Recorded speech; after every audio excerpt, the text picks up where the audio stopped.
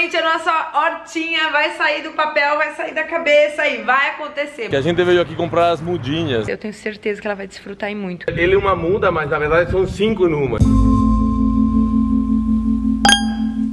Oi, gente, tudo bem? Que onda? Como estão? Mais um dia de vídeo e sim, finalmente a nossa hortinha vai sair do papel, vai sair da cabeça e vai acontecer. Bom, isso é o que a gente espera, né? A gente vai comprar umas mudas, a gente vai fazer tudo preparo pra horta. Na verdade, a gente vai mostrar pra vocês no vídeo. Então, se você gostar desse vídeo, não esqueça de Dá joinha. se inscrever no canal se ainda não for inscrito e... Seja muito bem-vindo por aqui. Vambora! Vamos! E hoje começa a saga da nossa horta. Nossa terra tá assim. O Ramon foi um pouco ansioso e plantou um café ali antes da gente preparar a terra. Não é ansiedade, é que essa muda de café estava no apartamento. Depois foi pra casa da sogra e ficou numa plantinha. Aí eu falei, ah, vou de uma vez, já que estamos em casa, colocar na terra pra ela dar boa energia pra casa. E agora a gente tá tirando os, os lixos que tem aqui. Aí assim, a gente entendeu que a gente precisa preparar a terra e daqui sete dias a gente vai começar a plantar. Então a gente comprou um substrato e humus de minhoca. A gente vai dar uma misturada e uma fofada na terra. A terra precisa estar bem fofa. Gente, eu tô vendendo o peixe que eu comprei, tá? Porque é a nossa primeira experiência com horta. E vocês vão acompanhar aqui e ver se deu certo no final, beleza? Nossa terra tá bem batida, ó. Tá bem dura, seca. A gente vai dar uma mexida nela agora, misturar o substrato e eu mostro pra vocês. Explicaram pra nós que tem que bater a terra porque se fica muito compacta, a raiz da planta, consegue. ela não consegue crescer. Acabei de juntar aqui um pouco da sujeira. Olha só. Enquanto o Ramon tá ali tirando os tijolos do canto e levando pra lá.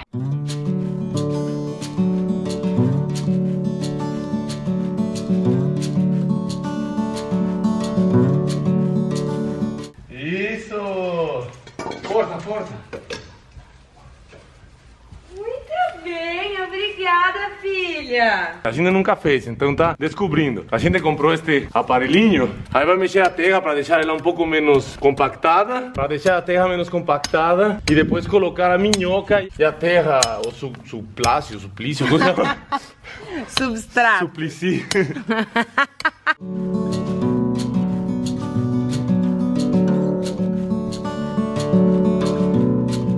No meio do caos, tá parecendo o verdinho da pimenta aqui, ó, que o Ramon plantou. A gente perguntou lá da loja do substrato, falou que não precisava jogar água. Mas a gente decidiu o que a gente queria, porque a terra tá muito seca. Então a gente deu uma mexida, vai jogar aqui a água pra ficar mais mole e amanhã dar uma mexida melhor. sabe? E ficou assim, ó. Tá meio dura essa terra ainda, tá vendo? A que tá em cima, porque a que tá embaixo até que tá legal, ó, onde o Ramon tá batendo. Então a gente vai dar mais uma batida, aí a gente já vai misturar aqui. Falaram para nós que tinha que colocar esta com minhoca e também essa que é o substrato para terra. Então primeiro vou colocar na minhoca, vou mexer bem e depois vou colocar o substrato. Substrato, tá? Não é substrato, gente. Quando você for na loja é substrato.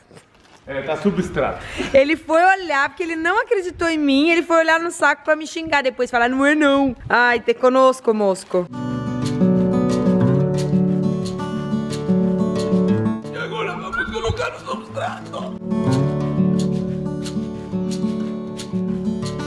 thank you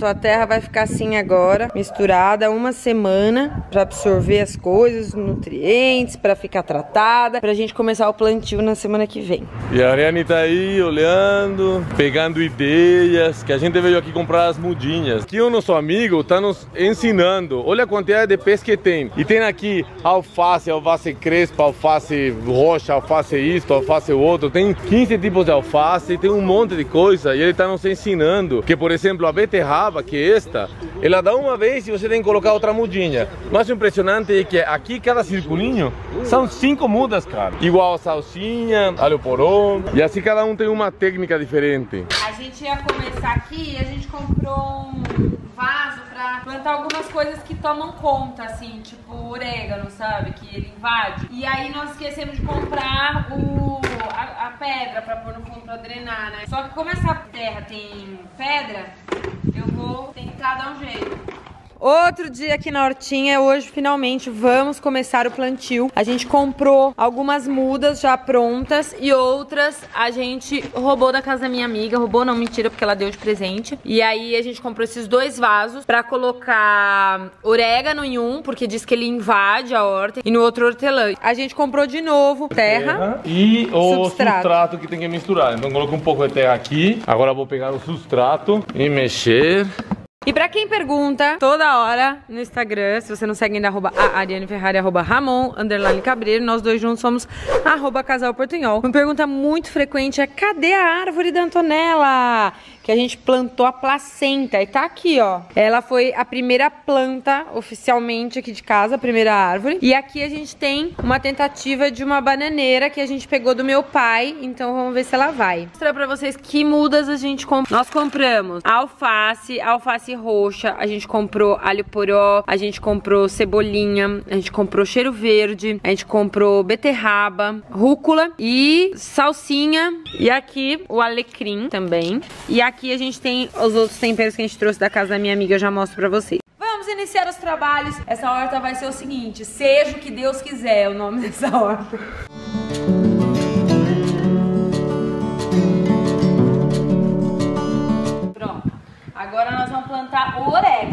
Tem aqui uma mudinha de orégano.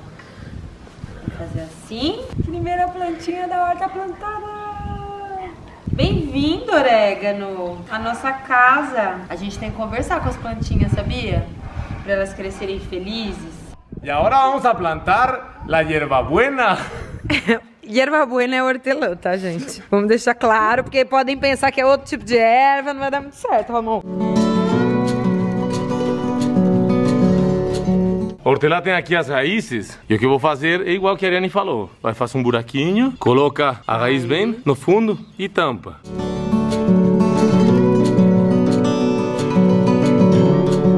Plantado agora e vai do lado da irmã dela que é o orégano. Agora o Ramon tá abrindo um canteiro pra gente começar a plantar ali, ó. Tá vendo? Tá bom já, depois a gente abre outro, né? Ou não? Acho que esse aqui é o tomate, tá? Acho. Não sei. Aí vamos começar por ele, porque a gente vai plantar o tomate perto do muro, porque depois a gente vai colocar as estacas pra ele crescer pra cima. Vou colocar aqui os tomates. O importante é a terra ficar fofa aí. Primeiro, aqui. Aí. Vamos plantar o alface. Olha, pelo que eu vi é o seguinte, a gente tem que cobrir toda a raiz da planta, tá vendo? E tem que tomar bastante cuidado para não cobrir a folha. Daí dá uma leve apertadinha aqui em volta e é isso, basicamente. E a Ariane já plantou aqui uma e a gente tem três desta mesma. Então o que a gente vai fazer é uma, duas e três. Uma segunda aqui e como ela estava explicando, aí a gente tem que colocar e dar uma apertadinha meio que forte na raiz. E aqui temos outro tipo de alface e vou fazer exatamente a mesma coisa. Você faz o buraquinho, a apertadinha que o conselho da Ariane na raiz.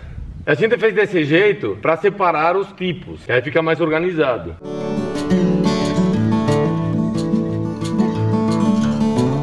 Já tá ficando com um jeitinho de horta aqui. O que que tá acontecendo? Só pra eu avisar vocês. A gente tá fazendo rodízio aqui porque a Antonella não me deixa plantar nada e eu queria muito plantar umas coisinhas aqui. Então o Ramon ficou lá dentro um pouco, ela tá resmungando, eu vou plantar aqui e já vou voltar lá. Vou abrir uma covinha pra plantar a couve.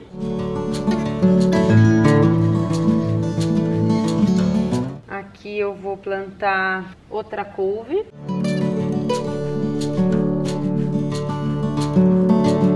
Na real, como eu tô achando que isso aqui é o tomate, eu vou plantar ali atrás, do lado da rúcula, porque eu tô achando que aquilo é rúcula. Eu vou plantar esses dois tomates. Aí, ao contrário do Ramon, gente, eu amo pisar na terra.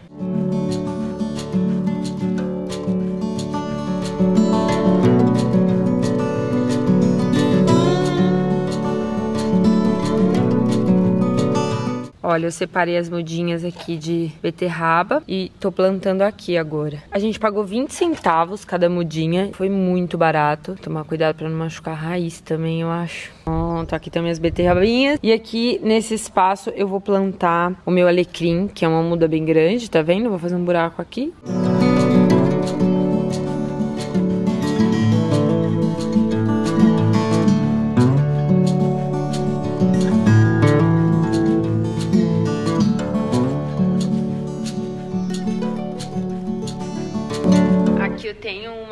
babosa que eu vou plantar aqui no fundo. Fazer várias receitinhas caseiras de produtinhos de beleza, máscara pro cabelo, pro rosto e também serve pra queimadura, machucado, enfim, né? Sobraram três mudas, eu vou deixar pro Ramon e o Manjericão também. Eu vou ser muito realista pra vocês. Eu acho que se você tem uma horta, se você puder estudar, melhor, sabe? Estudar, procurar, ver o que é melhor plantar do lado do que, como é. A gente foi se informando com as pessoas por aqui, pessoas que a gente conhece, conheceu nas lojas, amigos e tal, foram dando algumas indicações e a gente foi fazendo, meio que intuitivamente. Infelizmente a gente não teve esse tempo de estudo e a gente ficava postergando a horta e era uma coisa que a gente queria muito fazer. Então eu acho que esse vídeo não é ensinar você a fazer uma horta, é mostrar como é que a gente está tirando os nossos sonhos do papel, como a gente está fazendo as coisas que a gente tem vontade de fazer e inspirar você aí também a se mexer e fazer do jeito que dá, do jeito que é possível, numa realidade possível, seja no seu apartamento, num vasinho, no seu quintal, na sua horta, na sua terra. Eu acho que é isso o legal dessa experiência, de viver essa experiência. Hoje a Antonella ainda não consegue entender e ela quer a nossa atenção, por isso que tá difícil até gravar esse vídeo, muito honestamente falando. Mas assim, eu acho que logo mais ela vai super curtir e vir aqui, colher o temperinho que ela vai usar na comida dela. Então acho que é uma experiência incrível para criança também. Ela ainda é muito pequena, ela é um bebê, mas eu tenho certeza que ela vai desfrutar muito. A gente tá fazendo isso de uma maneira intuitiva e cheia de amor no coração, que eu espero que dê certo. Agora já é finalzinho de tarde e ficou deste jeito. O que estamos fazendo agora é só molhar um pouco para elas não ficarem com sede e elas serem bem recebidas pela terra nova e pela casinha nova onde vão morar. E para acabar o dia, é, minha amiga Tilly explicou que a gente tinha que deixar o manjericão na água até ele criar raiz para daí a gente plantar. E é isso que a gente vai tentar fazer depois, obviamente, a gente vai mostrar o resultado para vocês. A pessoa que nos vendeu as mudinhas ontem, ele falou que o alho poró e a beterraba, ele é uma muda, mas na verdade são cinco numa. Então o que você tem que fazer é separar a muda, que a gente esqueceu de fazer ontem. Você separa elas e plantar separadas. E agora já ficaram assim separadas. Deu para colocar 12 alho poró. Agora já ficou assim a horta e vamos esperar para ver como vai crescendo e como vai reagindo.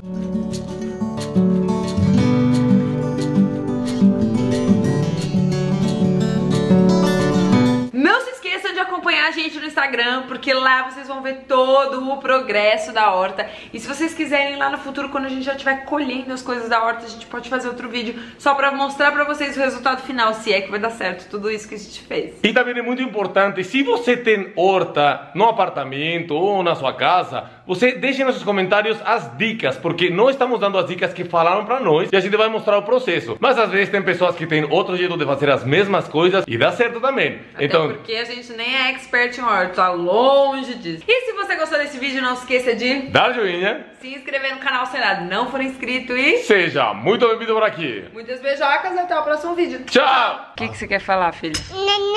É, nenê. O medo de aparecer uma minhoca? Minhoca, minhoca. Vai que a minhoca me dá uma beijoca. Ah. Pelo lado errado. Ai. Nossa senhora, pisa na terra, Ramon. Eu sou de Sente a energia da terra. Eu sou. Olha, ó o menino da cidade do México, criado num apartamento. Um segundo e ela tirou todas as mudas daqui e jogou lá.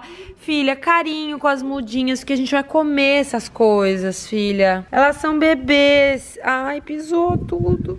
Não tem problema, Antonella. Só temos que ter mais cuidado com as plantinhas, tá? Não tem nenhum problema.